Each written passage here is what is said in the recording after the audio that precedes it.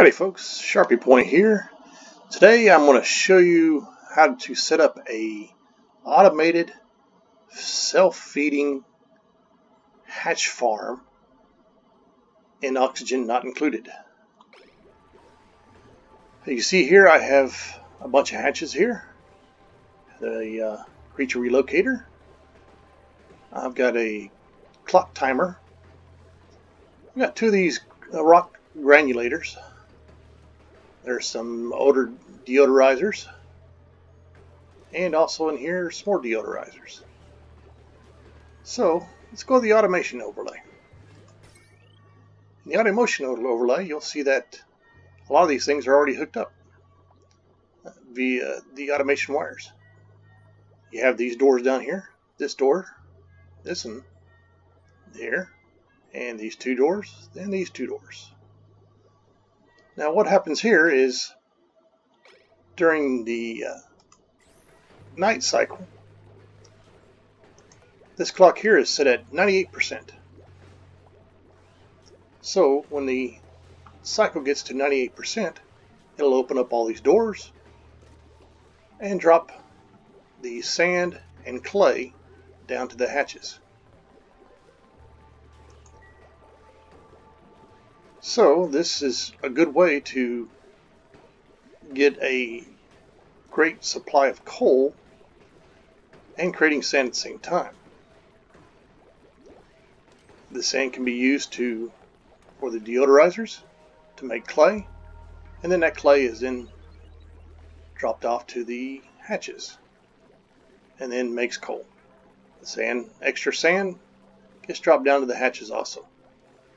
Now the end of the cycle just happened, so here in a short period of time, you to see all these doors that'll open, drop all the items down, and then it'll feed all the hatches. Let's go ahead and speed it up just a little bit.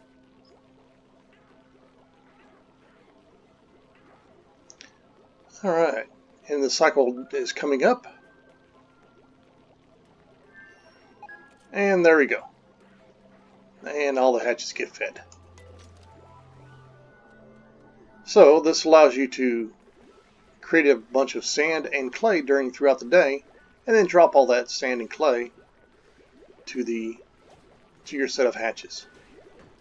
Now what this room here is, it's another little automation room. It's actually cleaning the polluted oxygen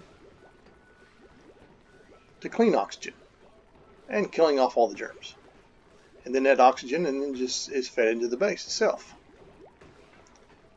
Now that's used through a atmospheric sensor, a NOT gate, and a buffer gate. This atmospheric sensor is set on a pretty low, which is 25 grams. So basically what we're doing is we're creating a vacuum, or close to a vacuum. Once this air has all been cleaned, it's pumped out through this gas pump then if there's any polluted oxygen still here, it'll recycle it back through this gas filter and then out this gas high pressure vent.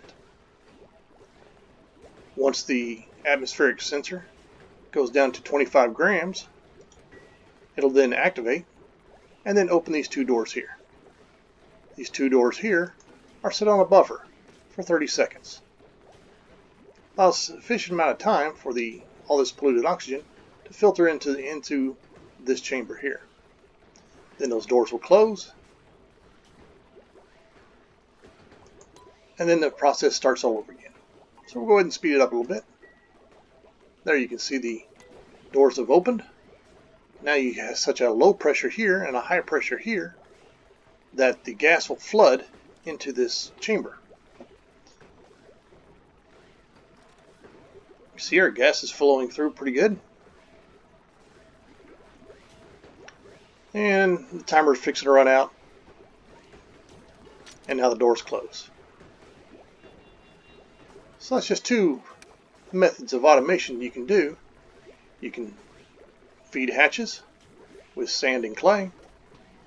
And then your extra clay you're getting while you're cleaning all this, uh, this polluted oxygen is also fed to the hatches. In turn, this will supply you with quite a bit of coal hatches produce coal at a one-to-one -one ratio. So whatever they consume, they produce that in coal. And if you have any other ideas on how to do any type of automation, I'd like to hear from you. Until next time, take care of yourselves. Thank you for watching, and we'll see you next time.